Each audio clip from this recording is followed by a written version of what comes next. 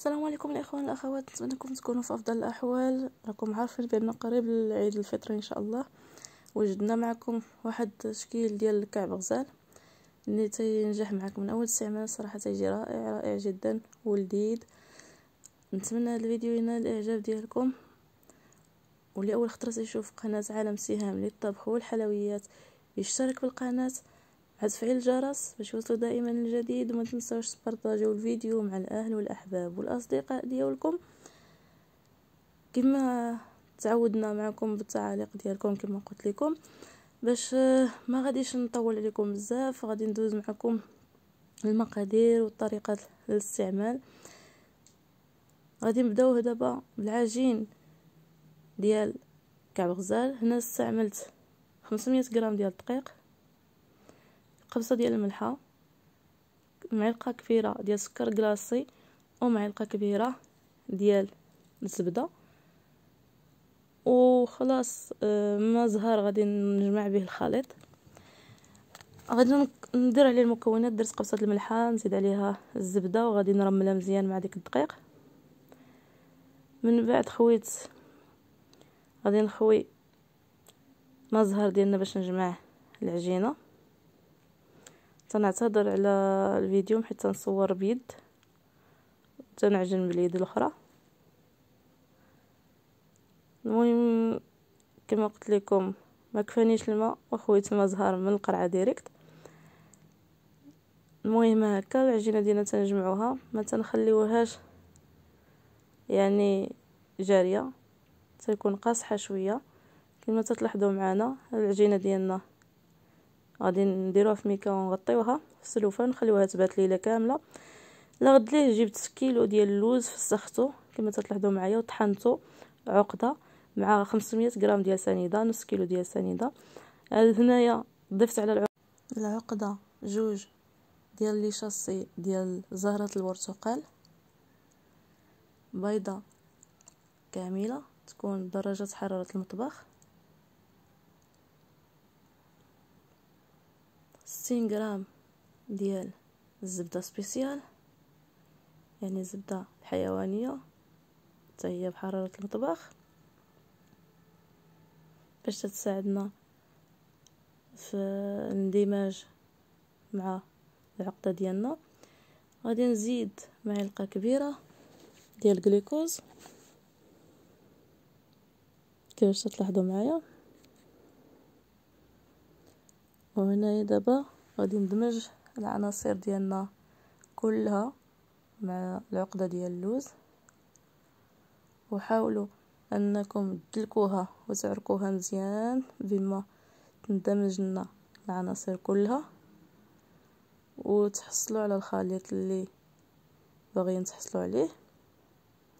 صراحة البنات العقدة تجي زوينة تجي شيشة وبنينة. غادي تلاحظوها معايا في آخر الفيديو.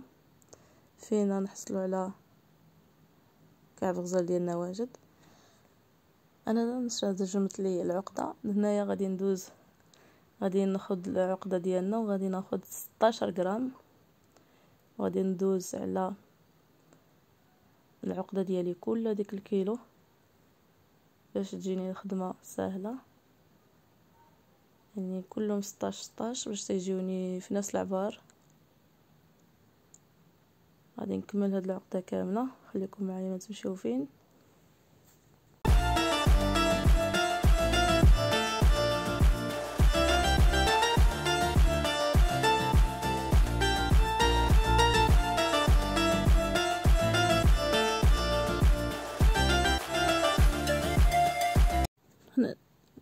هنا البنات غادي نجيب العجين ديالنا غادي نطلقو بالدلاك وتكون العجينة رقيقة. من بعد غادي نحط الخط آه، الحشوة ديالنا وغادي نشكل الكعبة ديالنا. صراحة البنات تجي زوينة ورائعة. هانتوما غادي تلاحظوا معايا الطريقة. طريقة سهلة وبسيطة. خليكم معايا ما تمشيو فين باش نقول لكم من بعد شنو غنديروا من بعد ما نشكلوها.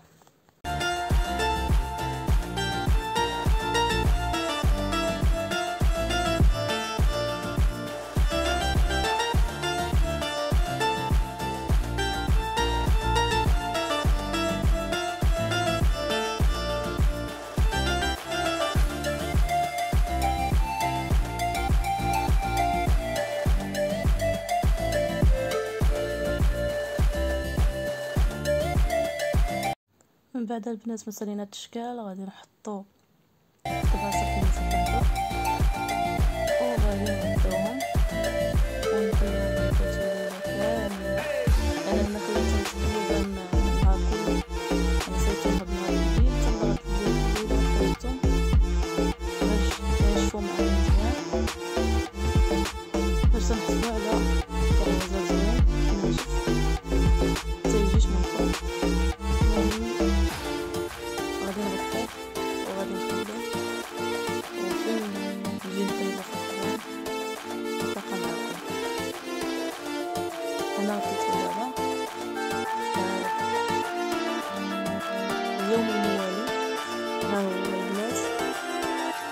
نشوف معنا كما تلاحظوا معايا.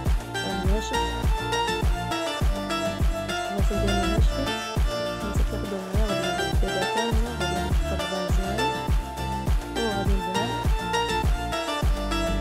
الكعبة ديالنا.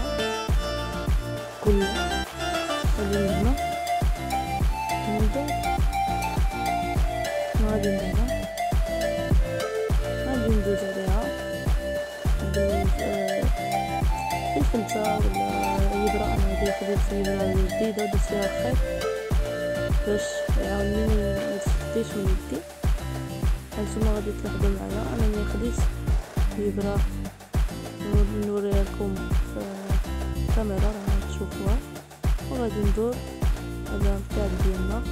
كلها هكاك. من بعد راه الفران أصلا عندي تيسخن فين يسخن لي الفران غادي ندخل الكعبة ديالنا. أنا هنا طيبتها غير في الجهة الفوقية شفت لي طيبت لي من الفوق ومن التحت. هذا هو الشكل النهائي ديالها. صراحة البنات جات زوينة ما تنفخت ليش بحكم أننا يعني شكيناها. جات زوينة جات رقيقة. أنا غادي نحط واحد الكعبة غادي نقسمها معكم وغادي تشوفوا الحشوة ديالها أو القوام ديالها من الداخل كيفاش جا. صراحة جات رائعة رائعة جدا. هشيشة رطبة ما نشفاش. صراحة نتمنىكم تجربوا هاد الطريقة هذه وتردوا عليا كيفاش جاتكم واش نجحات معكم ولا لا. ها هي الكعبة ديالنا غادي نقسمها لكم. وغادي تشوفوها وغادي تبين لكم كيفاش جات غير من خلال القسيم ديالها.